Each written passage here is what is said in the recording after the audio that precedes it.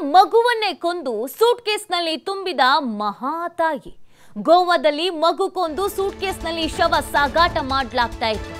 ಮಗುವನ್ನೇ ಕೊಂದು ಸೂಟ್ಕೇಸ್ನಲ್ಲೂ ತುಂಬುವಂಥದ್ದು ಏನಾಗಿತ್ತು ಅನ್ನೋದೇ ಪ್ರಶ್ನೆ. ಚಿತ್ರದುರ್ಗದಲ್ಲಿ ಸಿಕ್ಕಿ ಬಿದ್ಲು ಮಗು ಕೊಂದ ಕಿರಾತಕ ಹೆತ್ತಮ್ಮ. ಐಮಂಗಲ ಪೊಲೀಸರಿಂದ ಸ್ಟಾರ್ಟ್ಅಪ್ ಫೌಂಡರ್ ಸುಚನಾ ಸೇಠ್ ಬಂಧನ ಆಗಿದೆ. ನಾಲ್ಕು ವರ್ಷದ ಮಗುವಿನ ಜೊತೆ ಗೋವಾಕ್ಕೆ ಹೋಗಿದ್ದ ಸುಚನಾ ಸೇಠ್.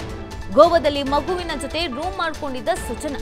ಆದ್ರೆ ರೂಮ್ ವೆಕೇಟ್ ಮಾಡುವಾಗ ಜೊತೆಗೆ ಮಗುನೇ ಇರಲಿಲ್ಲ. ಮೇಡಮ್ ಮಗು ಎಲ್ಲಿ ಅಂದ್ರೆ ರಿಲೇಟಿವ್ಸ್ ಕರ್ಕೊಂಡು ಹೋದ್ರು ಅಂತ ಅಂದಿದ್ಲು ಆದ್ರೆ ರೂಮ್ ಕ್ಲೀನ್ ಮಾಡುವಾಗ ರೂಮ್ ತುಂಬಾ ರಕ್ತದ ಕಲೆ ಇತ್ತು.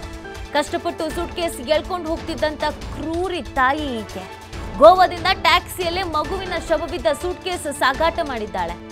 ಗೋವಾ ಪೊಲೀಸರಿಂದ ಚಿತ್ರದುರ್ಗದ ಐಮಂಗಲ ಪೊಲೀಸರಿಗೆ ಮಾಹಿತಿ ನೀಡಲಾಗಿದೆ. ಕಾರ್ ಅಡ್ಡಗಟ್ಟಿದ್ದ ಐಮಂಗಲ ಪೊಲೀಸರಿಗೆ ಶಾಕ್ ಆಗುತ್ತಿದೆ ಕಾರ್ ಡಿಕ್ಕಿಯಲ್ಲಿದ್ದ ಸೂಟ್ಕೇಸ್ನಲ್ಲಿ ಮಗುವಿನ ರಕ್ತ ಸಿಕ್ತ ಶವ ಪತ್ತೆ ಆಗಿದೆ. ಬಾಡಿಯನ್ನ ಶವಾಗಾರಕ್ಕೆ ಕಳಿಸಿ ಸೂಚನಾ ಕೈಗೆ ಬೇಡಿ ಹಾಕಿದ್ದಾರೆ ಪೊಲೀಸರು. ನಿಜವಾಗ್ಲೂ ನೋಡಿ ನೀಚ ತಂದೆ ಇದ್ದಾರೆ ಅನ್ನೋದನ್ನ ನಾವು ಕೆಲವೊಂದು ಪ್ರಕರಣದಲ್ಲಿ ಕಂಡಿದ್ದೇವೆ, ಕೇಳಿದ್ದೇವೆ. ನೀಚ ತಾಯಿ ಇರುವಂಥದ್ದಿದೆಯಲ್ಲ ಇದು ನಿಜವಾಗ್ಲೂ ಅಸಹ್ಯಕರ. ಯಾಕಂದ್ರೆ ಹೆತ್ತ ಮಗುವನ್ನ ತನ್ನ ಕೈಯಾರೆ ಕೊಲೆ ಮಾಡುವುದು ಅಂತಂದ್ರೆ ಅಂಥದ್ದು ಏನಾಗಿತ್ತು ತಾನೇ ಹೆತ್ತಂತ ಮಗುವನ್ನ ಸಾಯಿಸಿ ಸೂಟ್ಕೇಸಲ್ಲಿ ಹಾಕೊಂಡು ಟ್ರಾವೆಲ್ ಮಾಡೋದು ಅಂತಂದ್ರೆ ಈತೆ, ಈಕೆಯ ಮನಸ್ಥಿತಿ ಏನಾಗಿತ್ತು, ಹೇಗಿತ್ತು ಅನ್ನೋದನ್ನ ನಾವಿಲ್ಲಿ ಪ್ರಶ್ನೆ ಮಾಡಬೇಕಾಗತ್ತೆ. ತಾಯಿಯನ್ನ ದೇವರಿಗೆ ಹೋಲಿಸ್ತೀವಿ. ತಾಯಿಗಿಂತ ಮಿಗಿಲಾದ ದೇವರಿಲ್ಲ ಅಂತ ಹೇಳ್ತೀವಿ.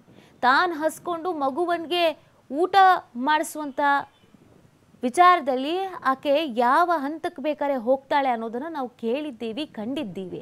ಅದೇ ಈ ಥರದೊಂದು ಪರಿಸ್ಥಿತಿ ಅಂತಂದರೆ ಏನಾಗಿತ್ತು? ಯಾಕೆ ಈ ರೀತಿಯಾಗಿ ತನ್ನ ಕೈಯಾರೆ ತನ್ನ ಮಗುವನ್ನು ಕೊಂದಿದ್ದಾಳೆ? ಇದೆಲ್ಲದ್ರ ಬಗ್ಗೆ ಮಾಹಿತಿ ಲಭ್ಯವಾಗಬೇಕಾಗಿದೆ. ಪೊಲೀಸರೇ ಶಾಕ್ ಆಗಿಬಿಟ್ಟಿದ್ದಾರೆ. ಈಕೆ ಯಾಕೆ ಈ ರೀತಿಯಾಗಿ ಮಾಡಿದ್ಲು ಅನ್ನೋದೇ ಪ್ರಶ್ನೆ.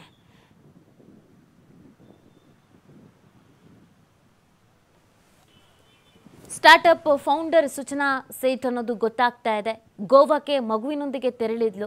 ಹೋಗುವಾಗ ಕೈಯಲ್ಲಿ ಮಗು ಇತ್ತು. ವಾಪಸ್ ಬರುವಾಗ ಮಗು ಇರಲಿಲ್ಲ. ಡೌಟ್ ಬಂದಿದೆ ಹೋಟೆಲ್ ಅವರಿಗೆ. ನಿಮ್ಮ ಜೊತೆಗೆ ಮಗು ಇತ್ತಲ್ಲೇ ಎಲ್ಲಿ ಮೇಡಮ್? ಅಂತ ಕೇಳಿದ್ದಾರೆ.